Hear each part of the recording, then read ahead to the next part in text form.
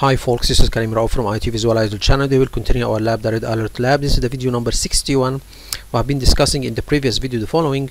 We have uh, discussed uh, in the previous video how we can create a professional IT audit report uh, using the Department of Defense of the United States recommendations and through its program STIG Viewer. So this is a program uh, created by the Department of Defense and it helps us uh, in addition to their recommendations to create a professional IT audit report to audit our environment. So for example, if you need to audit your, for example, Windows 10 security, you can use the STIG viewer program and uh, create a report and see what recommendations of the Department of Defense are applied to your Windows 10 environment and what applications are not applied.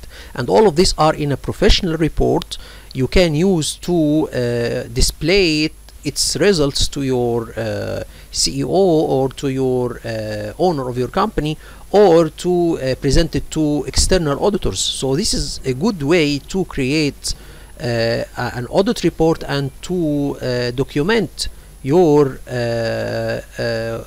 environment security. Okay, make it as a documentation okay? You can do this IT audit reports on a, a, regular basis for example to do it monthly weekly uh, yearly. So this is a way you can create audit reports and uh, uh, document it in a very professional way okay? So we have discussed this in the previous video.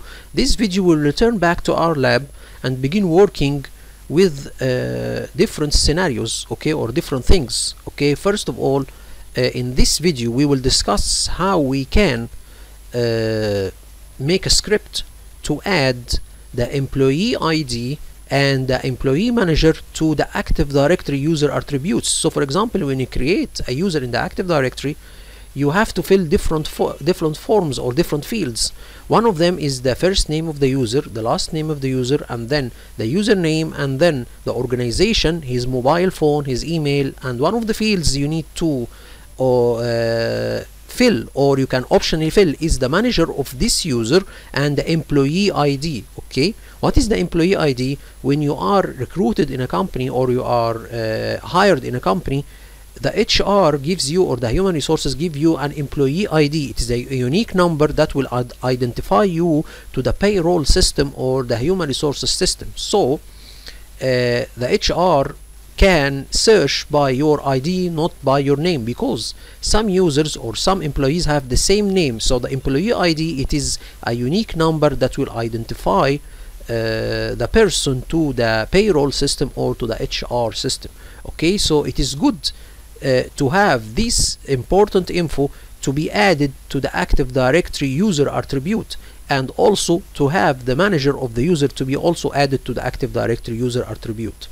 I have been uh, in the beginning of the lab I have created a script to fill these two fields but actually the script didn't work. So in this video I will fix this problem with another script. So we will use uh, two lines of scripts to update the field of the manager and the field in the, of the employee ID in all of the active uh, on all of the active directory users attributes let's have a look the script will go and uh, see some uh, Excel sheets to uh, use them to update the field. So for example, we will use a script and then this script will go and uh, read these columns. So this is the uh, username of the user and this is his manager. Okay, so he is Derek McBride. This is the manager of Keraof. So the script will go and read the username and then update the field of the manager in the Active Directory user attribute to be Derek McBride. So these are all of the usernames and these are all of the managers. So this is the first script. It will run and go and check this Excel sheet or CSV file and update the Active Directory user attribute based on this Excel sheet or this text file. Okay, this is for the employee uh, uh, manager. As for the employee number or employee ID, we will give him the first name and the last name of the user the SAM account or the username of the user and this is the employee number okay? Uh, it is not named uh, in the active directory as employee number. It is named as employee ID okay? So employee number here means it is the employee ID so let's see how we can use two scripts to update the employee number field in the active directory user attribute and to update the manager field in the active directory user attribute. Okay and by the way if you need to use any script to uh, fill any fields in the active directory I have uh, a simple excel sheet that will give you uh, the name that you need to use in the script to fill a certain active directory field. So for example if you need to for example let's have a look here. If you need to for example fill the company field in the active directory you need you need to use in the script okay something called company. So this is how you can use it. For example if you need to up, up, uh, update the company field in the active directory in the script you will write update company. Okay so for example let's see another thing. For example if you need to apply the country field in the active directory in the script you need to write CO so this is an abbreviation of country. So in the script you will not write country to update the field. You need to write only CO okay? And if you need to apply to update the name you need only in the script to type CN so this is a simple excel sheet that will give you the LDAP name. So this is the field that you use in your script and the display name. So this is the field name display, displayed in the active directory and this is the field that you will use to update the display field in the active directory. So the field in the active directory have two uh, ways to appear. Display name this is how it appears to, for you as a user and LDAP name this is how the script will see it.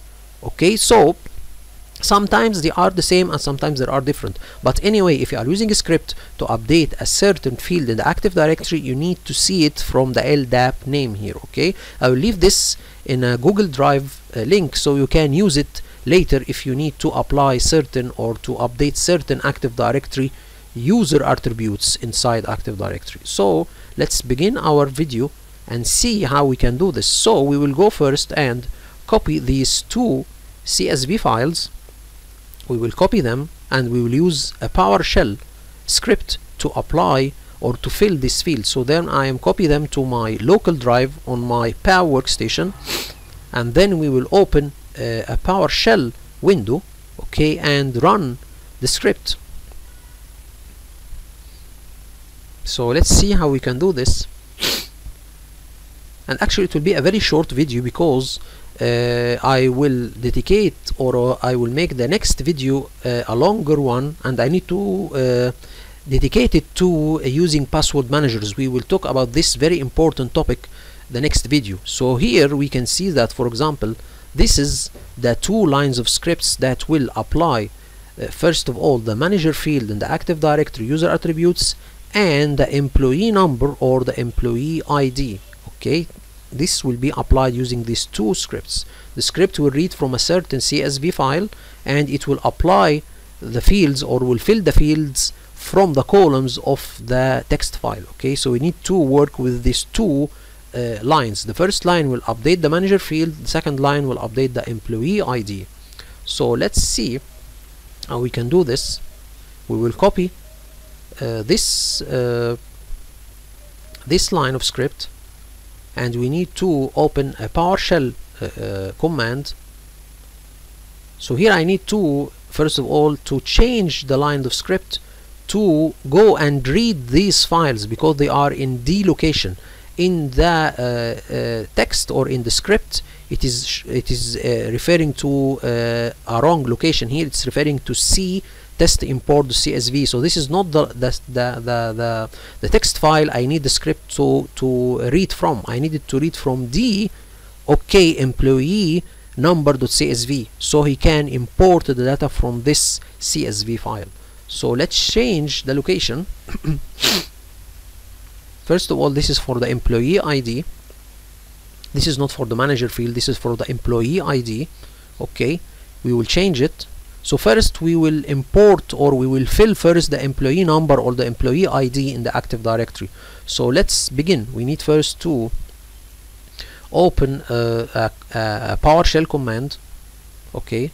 So we can use it from the Windows Admin Center to open a PowerShell remotely or to open it from uh, the uh, PAW workstation. So we run as an administrator and then we need to go to the D partition D and then run the script and see what will happen. And press enter. And then we wait for a couple of seconds because we have about 4336 users or something. So they will be updated the, the fields will be updated along uh, number of uh, users okay to update their fields okay? So let's wait and see. And some errors will appear. Maybe these errors appear because certain users are not created or certain users are duplicated or something. Anyway we will check and see if the fields are uh, filled or not. So let's wait and see and do not get confused because in the active directory there is two fields something called employee id this is the one that you are trying to fill and there is something called employee number okay? So it is the employee id that is named okay? Or employee id that is filled not the employee number. Maybe the text file is named employee number but this is not the case. It is the employee id okay? So we will open and we will see. There is some errors okay saying that uh, some uh, active directory users he cannot fill their uh, fields. So let's see and take take one uh, user uh, randomly and see if the employee ID field is filled or not. So let's wait and see if this will be done. We will open and see the employee ID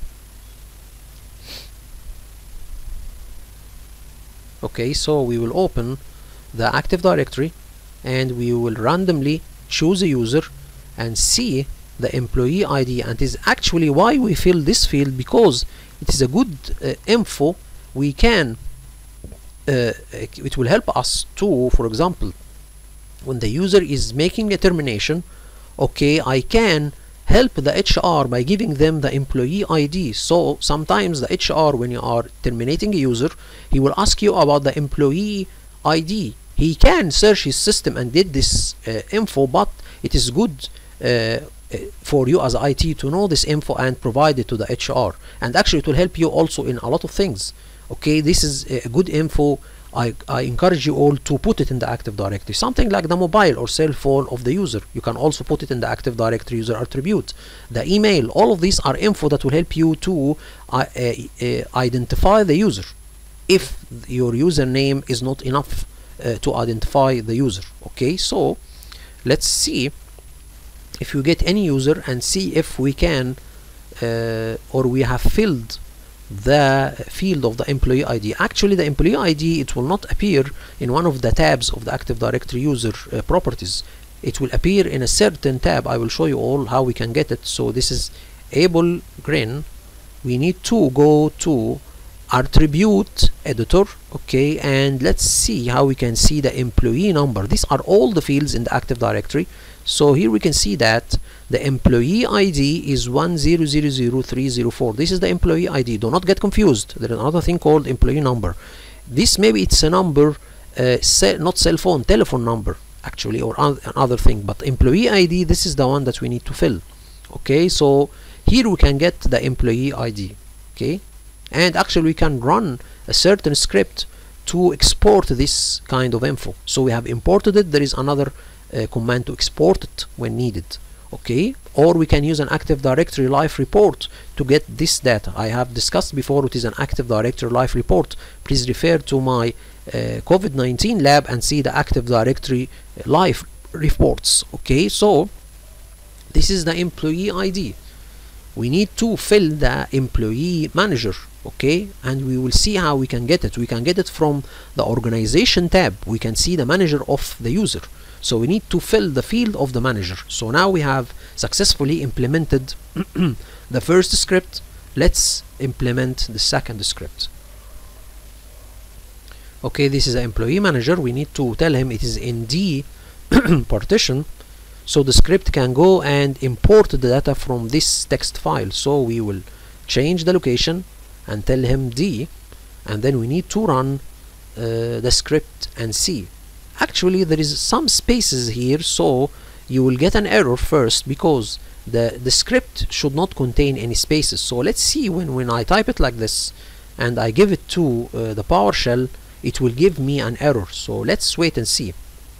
For example I uh, tell him CLS just to clear the screen or clear and then we we will type here. You can see that he is saying that any empty pipeline element is not allowed. So because there is a space here we need to make it in one line.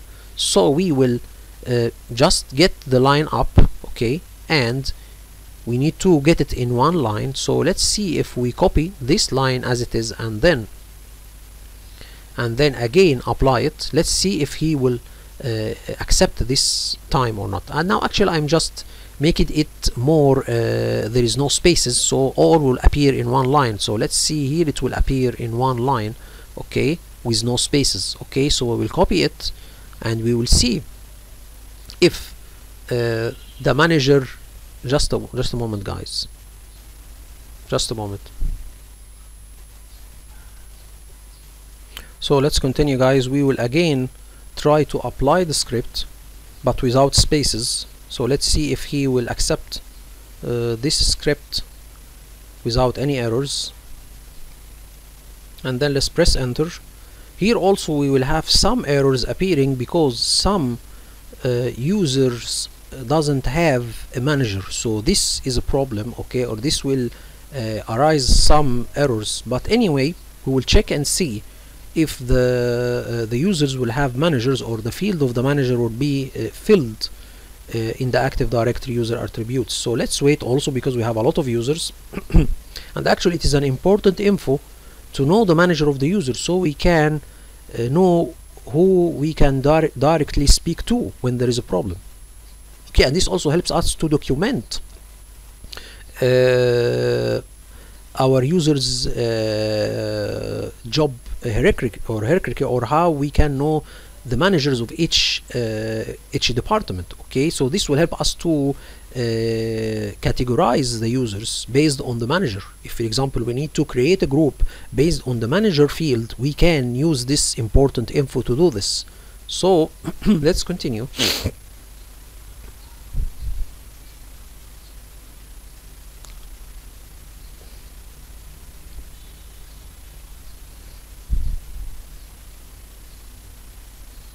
so it will take a little bit of time and we'll see some errors. We need to pause the video. Then we have a lot of things. Here says directory object not found because the field of manager is not filled in the uh, text file or the CSV file. So this uh, is why this error appears. Let's see if there is any uh, uh field filled or not. Here we can see that for example this user he is called Adrian Nicholas. So he's a captain in the uh, Navy of the United States. Okay. A UN force. Okay. And his user is Damian Nelson. So here we can see that here is the manager field appearing. We can change it and do it to another thing. Anyway so this means that our script is successful. Okay. So we need uh, here I will just uh, here we need to uh, stop because we have already finished our video. The next video will begin working or will begin talking about KeePass. This is a very important password manager we need to use to uh, secure our uh, passwords in our uh, environment. Okay so hope this video is informative for you all and thank you all for viewing. Thank you so much